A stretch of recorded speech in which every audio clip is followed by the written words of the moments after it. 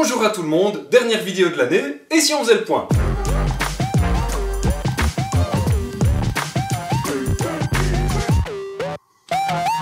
D'abord, j'aimerais bien dire merci. Merci à vous de me suivre, certains depuis longtemps, d'autres qui viennent d'arriver, et j'espère que le contenu vous plaît.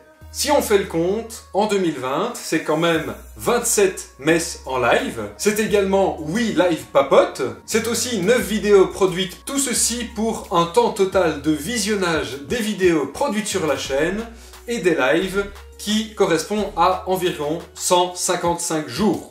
Je suis très content d'avoir pu exprimer ma créativité, vous expliquer des trucs, parler de plein de choses, partager des choses qui me tiennent à cœur, et visiblement ça a l'air de vous plaire aussi, alors merci de le suivre, merci d'avoir montré que ça vous plaisait, ça me touche énormément. Je suis très heureux d'avoir pu commencer ça cette année, donc 2020 n'aura pas été une année que mauvaise et horrible, mais vous vous doutez qu'il va y avoir 2-3 petits changements pour 2021. Vous le savez sans doute, mais j'ai été nommé comme administrateur paroissial à l'unité pastorale Notre-Dame de Grâce à Amay, dans le diocèse de Liège. Avant cela, j'étais vicaire de paroisse à l'unité pastorale Notre-Dame du Magnificat à Verviers Sud. Ça veut dire que je vais changer de fonction, ça veut dire que je vais aussi probablement avoir plus de boulot, et donc moins de temps pour les vidéos. Mais j'ai envie de continuer. Et en même temps, je me rends compte que déjà ici, alors que c'était le confinement, que j'avais plus de temps pour le faire, ça a été très difficile de tenir le rythme d'une vidéo par semaine. Concrètement, qu'est-ce que je vais faire? Mon but est toujours de publier une vidéo à 21h le mardi, chaque mardi. Mais je me rends compte que vu ce que j'ai envie de faire, ce que j'ai envie de vous proposer, je vais pas être capable de vous proposer un bref presbytéral. Oui, alors, c'est le petit nom débile que j'ai donné à mes vidéos, un bref presbytéral. Je vous explique. Ça n'a rien à voir avec la série Bref. Un bref apostolique ou bref pontifical, c'est un document du pape qui est très court, un document administratif qu'il donne pour donner un truc.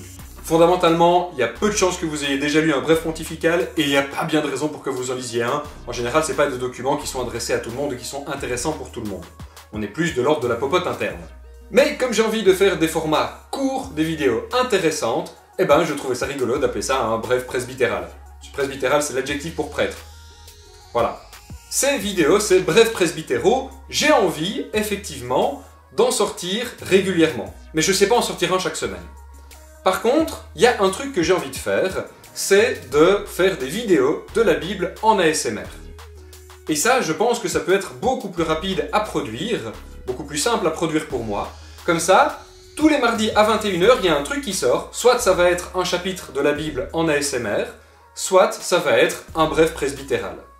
Si vous voulez évidemment être tenu au courant des actualités de la chaîne, n'hésitez pas à vous abonner, à activer la cloche. Si la vidéo vous plaît, n'hésitez pas à laisser un pouce en l'air. Si la vidéo vous plaît pas, un pouce vers le bas. Voilà Sur ce, j'espère que 2021 sera meilleur que 2020. Je vous souhaite tout le meilleur en tout cas. Prenez soin de vous. Si vous avez le temps et l'énergie et l'envie, priez pour moi. Je prierai pour vous. Je vous souhaite une très belle année 2021. Que tout se passe bien pour vous. Bisous